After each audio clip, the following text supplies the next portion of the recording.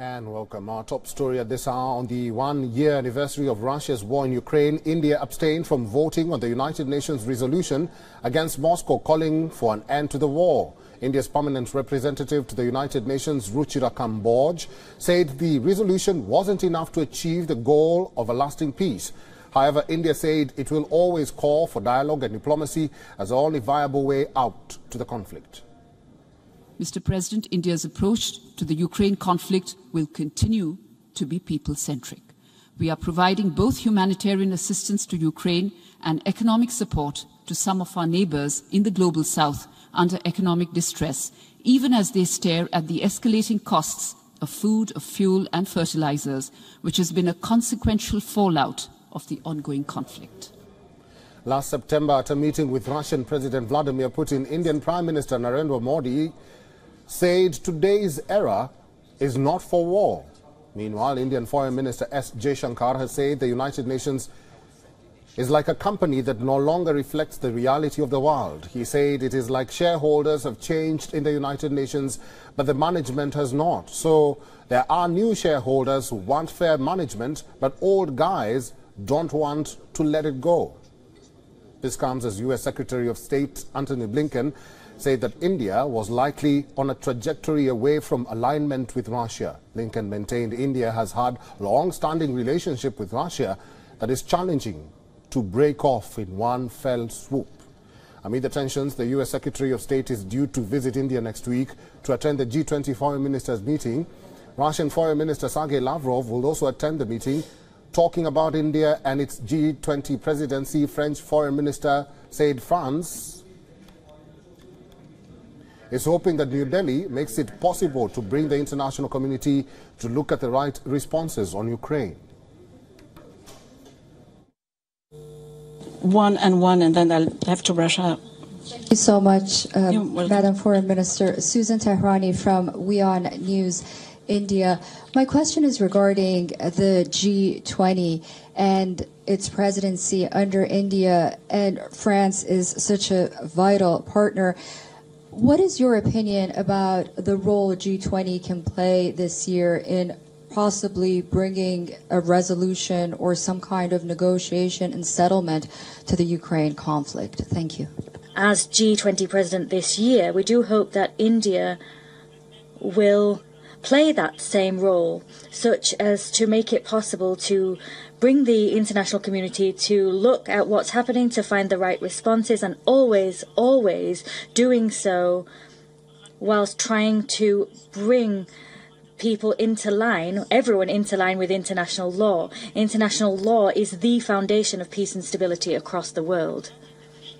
India is committed to that, those principles. We're aware of that, and we count on India this year to continue the work that had been done last year by Indonesia. Well, for more on this, our correspondent Anas Malik is joining us from Kherson. Anas, good to see you, and I can see you are well protected. By November last year, Ukrainian forces had liberated Kherson, but Russian forces continued to shell it from across the Dnieper River. With that in mind, how does the city look like now? How are they marking one year since the invasion? What's happening around you? Lyric, uh, the shelling is still continuing. We can hear it in, in somewhat of a distance. Uh, shells continue to fall in. Not exactly, fortunately, not exactly where I am, but certainly nearby enough, uh, ne nearby enough that it can be heard, and it can be heard in a much more clearer terms in a much more clearer manner. Uh, the city is a ghost town behind me i'll just get aside and i'll show you, you if you so, see those shards of rocket uh, that's a bus uh, bus stop that was shelled just this morning. That's a shard of the rocket, a fresh shard of the rocket that was shelled that that uh, that came out from the rocket that uh, that was uh, used in the shelling just this morning. This explains on how dire the situation is. I'll just get aside and pan around as well, and we'll show you. These are those streets, those houses that have been damaged, uh, there had been a literal battle over here, both infantry and armory wise, uh, artillery wise, and infantry wise. And after which, uh, in November, after eight months of or nine months of Russian occupation, uh, the, the, the city of Kherson was liberated. I'll just get aside and I'll try to explain you furthermore. Uh, this is the main street to Kherson behind, behind me, and we'll try to zoom in there as well to that side. Behind behind me is the Dnieper River. Uh, I'm sure you would be able to see it in a short while from now. Uh, th that is the Dnieper River, uh, and uh, beyond that, there's still what we what we believe is a situation uh, that the Russian side, uh, as it's being said, they still shell, and they still they, they, it's believed that beyond the river is what uh, is where from where the fire is in coming from. That river that you see that you see it flows from the south of Russia, uh, from south of Belarus, and onwards to Ukraine and to to the Black Sea as well. So this explains uh, the the the importance of Kherson by and large to this region why the Russian side wanted to occupy it. Uh, Kherson is about 70 kilometers uh, from Mykolaiv uh, but in normal cases it would have taken you uh, 40 minutes. Uh, today it took us about an hour and a half to drive from uh, Mykolaiv to, to Kherson because of the road situation. So um, not all is well over here and you can feel that palpable fear that grimness in the air. These these roads, these emptiness, this shallowness, they speak themselves, the damage, the destruction. That speaks volumes for what the people have suffered and what the people feel even now. Eric? That is our correspondent, Anas Malik, live in Kherson. Anas Malik, stay safe and thank you very much for your insights today. Let's continue talking about this first year anniversary or one year anniversary of the Ukraine war. And for more on this, we are now being joined by Pankaj Saran from New Delhi. He's former Deputy National Security Advisor of India and former Indian Ambassador to Russia. Pankaj is currently the convener of a think tank called Nat Strat. Pankaj, welcome to the program. Thank you so much. Thank when you. we talk about India's role in diffusing the tensions, what are the possibilities of that, having in mind that India has strong relationship with Russia that cannot be broken easily? Thank you. I think uh, in the last one year, India has uh, done uh, whatever it could to contribute to reduction of tensions, both by its actions as well as its uh, statements. And we have said that this is not a time for war, we have kept in touch with all sides. Uh, we have maintained channels of communication with everyone.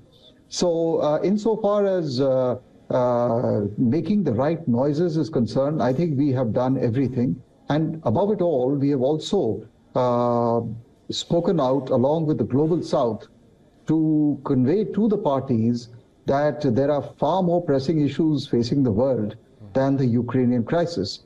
So uh, this is as much as I think India can do to lend its moral authority, its credibility, and its uh, maturity to what is going to be and what is actually a destructive war. Well put, Pankaj. India is hosting the G20 summit and going by the Prime Minister's statements, today's era is not for war. What sort of impetus or impact will India have through the G20 to marshal calls to end the conflict in Ukraine? Well, I think it's a it's a great opportunity for India to exercise its uh, uh, global role uh, during its presidency of the G20. And uh, Indonesia faced a difficult time because of the political tensions in Europe. But I think India is well placed uh, in terms of its credibility and in terms of the, the weight of its voice uh, to ensure that the G20 uh, remains true to its purpose uh, to address the challenges of the world, particularly of the global south, on issues which really bother us, such as climate change, etc., and uh, ensure that we keep politics and security out of the G20 framework. And above it all, I think we provide an excellent platform for all sides to physically participate, attend meetings, and uh, continue with normal interstate business. Pankaj, finally, various quarters have been agitating and pushing for a way out, you know, or rather sort of dialogue. Do you see that happening this year? What will it take for both sides, that is Ukraine and Russia, to compromise? I think the only dialogue which will uh, resolve this problem is a dialogue between the United States and Russia. And uh, all it takes is for both these parties and sides to display the political will to come to the table and discuss the issues at hand, which are both sovereignty and territorial integrity, as well as the mutual security of all sides. Because the genesis of this whole thing lies in what kind of a security architecture will define Europe. And therefore, I feel that uh, all it will take is face to face discussion between President Biden and President Putin. Right. Former Deputy National Security Advisor of India and convener of NAT Strat, Pankaj Saran, thank you for your insights and for talking to us today. Thank you so much for having me.